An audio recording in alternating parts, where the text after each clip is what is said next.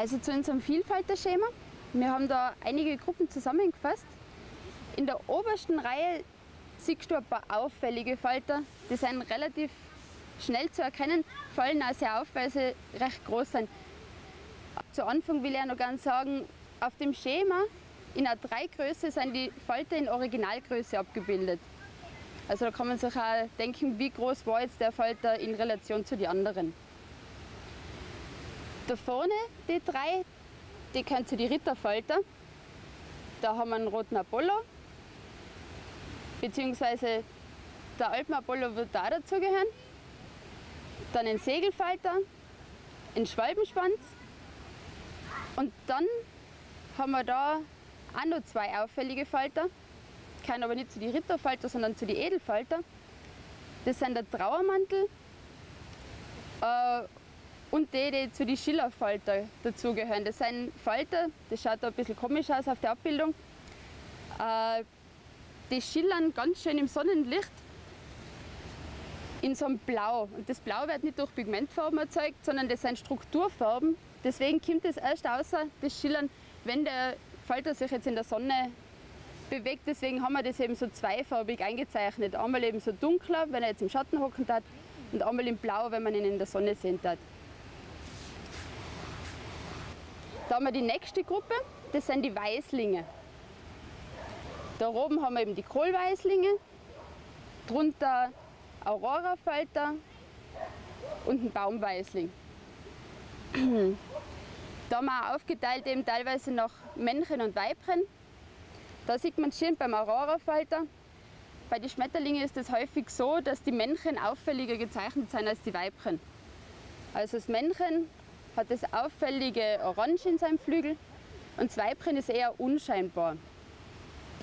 Hat eben den Grund, dass das Männchen will ja aktiv Weibchen anlocken und das Weibchen will aber eher schauen, dass es möglichst unauffällig ist auch gerade deswegen, dass es nicht zur Beute von zum Beispiel Vögeln und anderen äh, insektenfressenden Tieren wird.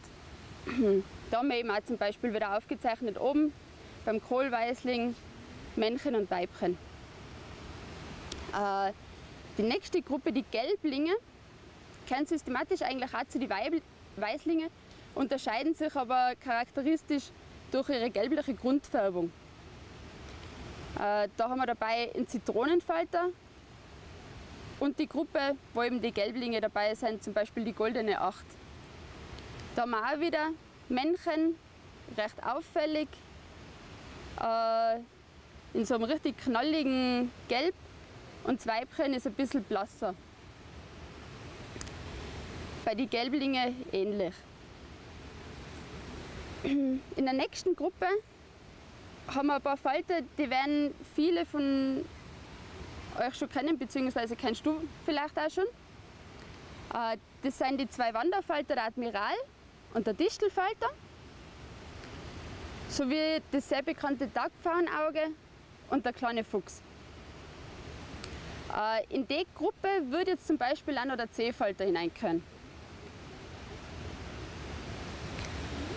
Als nächstes haben wir Bläulinge und Feuerfalter. Da haben wir auch wieder unterschieden zwischen Männchen und Weibchen. Da, Männchen, Weibchen. Auch wieder die Männchen auffälliger in die meisten Fälle. Da bei den Bläulinge in einem schönen, satten Blau.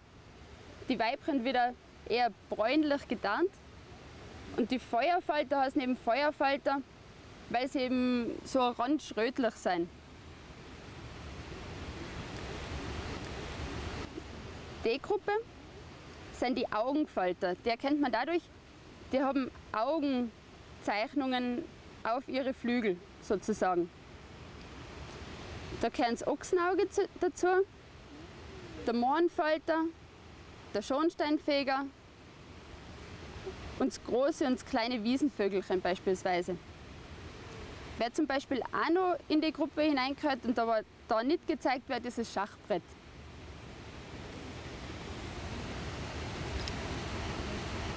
In der nächsten Gruppe haben wir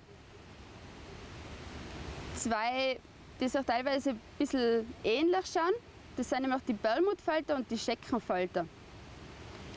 Die Perlmuttfalter kann man dadurch erkennen, dass die meisten von ihnen auf ihrer Hinterflügelunterseite so wunderschön Perlmutt glänzende Flecken drauf haben. Das sind die weißen Flecken. Die glänzen wirklich wie so eine Perle. Äh, wer zu den Perlmuttfalter an oder zugehört, ist der Kaisermantel. Den kennst du vielleicht. Und die Scheckenfalter, die haben auch so eine scheckige Zeichnung. Und denen fehlen aber die Perlmuttflecken auf der Flügelunterseite. Also du siehst da immer in dem Fall einen Falter von oben und einmal umgedreht von der Unterseite. Und die letzte Gruppe, was ich da noch sagen will, sind eben die Dickkopffalter. Und da unterscheiden wir eben äh, da Dickkopffalter in Orange einfach. Da gibt es mehrere verschiedene Arten.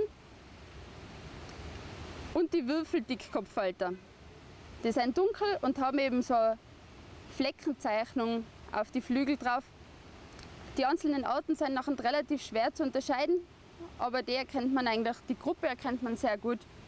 Äh, die kleinen Falter sind meistens relativ schnell und wie man schon am Namen hört, haben einen relativ breiten Kopf.